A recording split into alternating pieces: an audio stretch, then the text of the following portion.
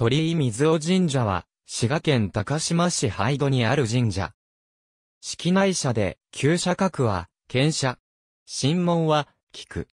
祭神は次の二柱。祭神に関しては、かつて、猿田彦命、雨のうずめ命の二柱とする説があったが、三尾君の祖神を祀る神社であるとして、現在は、岩小別名、姫神の二柱が、祭神に定められている。社殿に基づく、祭神略系図、水尾神社は、かつて、水尾川を隔てた河南社、河北社の二社からなったが、現在は、河南社の一社からなる。社殿では、岩小別名は猿田彦命の天聖神道を学ぶために、猿田彦命を祀る統治に来住したという。そして、朝夕に、猿田彦命を祀る三美大明神を、遥か廃したのでこの地は、廃所と称され、その住居跡は、廃所御所と称されたと伝える。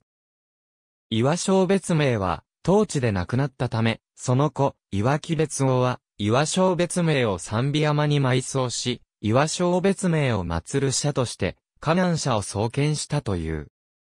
続いて社殿によると、王神天皇の第十一王子、はやぶさ分けをも、天聖神道を学ぶため当地に来住し、その四世孫である、彦牛王は、岩木別王五世孫の栗姫を火に迎えた。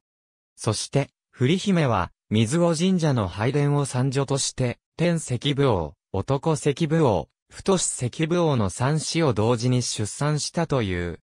その出産時、彦牛王は、仮車を立てて、安産を祈ったといい、後天石部王がその仮車後に両親を祀る三十世大明神を創建したのが、河北社の始まりで、その後同社は姫神の実を祀るようになったと伝える。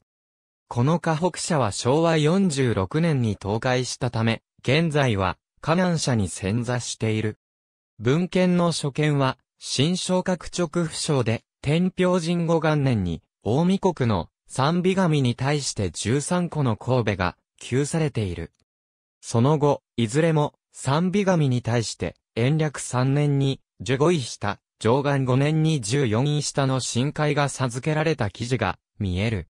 延長5年成立の、演技式新名帳では、大見国高島郡に、水尾神社ニザ並名神大月寺に稲目として、ニザが、名神大社に列するとともに、月次祭、新滑祭りで平白に預かった旨が記載されている。公安3年に、全地院が開かれると同院は、水尾神社の別当寺となったという。その後は振るわず社税は追尾した。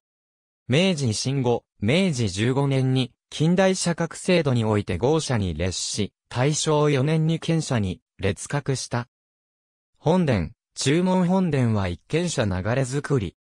本殿前には注文を挟んで拝殿が建てられている。拝殿は入りも屋作り。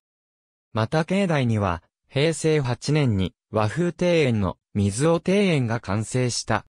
その他、境内裏手の山中には6世紀の群衆墳が残っており、うち、三小塚は三尾君祖の墳墓であると伝える。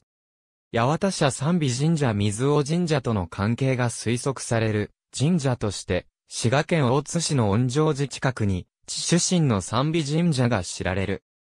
予知史略によると、同社は、霊罪に乗って、高島郡三大崎から大津に流れ着いた三神を、祀るという。このことから、水尾神社との関連が指摘されるとともに、資料に見える、大見国三美神がこちらを指す、可能性の指摘もある。所在地交通アクセス注釈限定出店。ありがとうございます。